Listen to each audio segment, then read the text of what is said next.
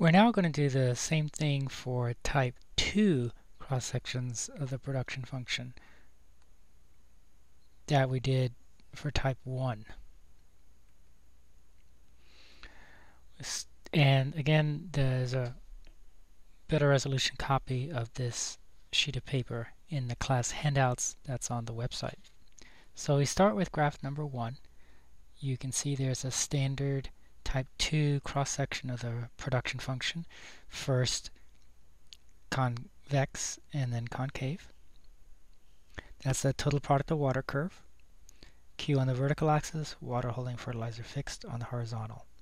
To get graph number 2 with Q on the horizontal axis, which is, we want Q on the horizontal axis because we need Q to be on the horizontal axis for all the other graphs, we need to rotate around a 45 degree line.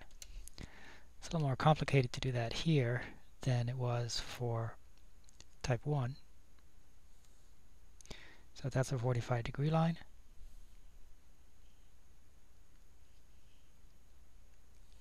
And that's a 45 degree line. Uh, let me make that one a little bit different.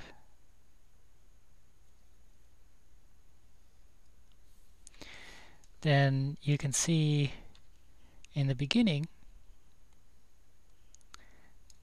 in graph number one, the black line is below. So in the beginning of graph number two, the black line needs to be above. Then there's an initial, then there's a middle portion where the in the graph number one where the black line is above. So in graph number two, it's got to be below. And then in graph number one, the black line finally at the very end, way out here, ends up below. And so in graph number two, at the very end, the black line needs to end up above. And that's that's what happens. It, it would continue like this. So we've successfully flipped graph number one around a 45 degree line. To go from graph number one to graph number two, the horizontal axis stays the same. The vertical axis changes from water to dollars. These dollars are variable cost. We could call it short run variable cost. I just left out SR. Again, the way you go from 2 to 3, 2 is W, 3 is variable cost, which is the price of water times water. So that involves taking number 2 and then st stretching it out vertically if the price of water is greater than 1, squishing it in vertically if the price of water is less than 1, and leaving it the same if the price of water is equal to 1. Bottom line is, regardless of what the price of water is, graph number 3 has the same basic shape as graph number 2. And, and the basic shape is the only thing that's, that we really care about. So we have graph number 3. Now to get the graph number 5, the relationship between those is that graph number 5 is short run total cost, and short run total cost is variable cost plus fixed cost. We have variable cost from graph number 3, and so all we need to do is to add fixed cost to graph number 3 to get number 5. Fixed cost is a, you could graph it as a horizontal line, it's a fixed amount. And so basically, to go from 3 to 5, you take graph number 3 and you shift it up by the amount of the fixed cost. So this would be fixed cost. And graph number 5 has the same shape as graph number 3, only it's shifted up. Then to get graph number 7, you simply superimpose graph number 3 and graph number 5. Again, graph number 5 is going to start at fixed cost, uh, graph number 7 is short run total cost, and it has the same shape as short run variable cost. So that's how to get 1, 2, 3, 5, and 7.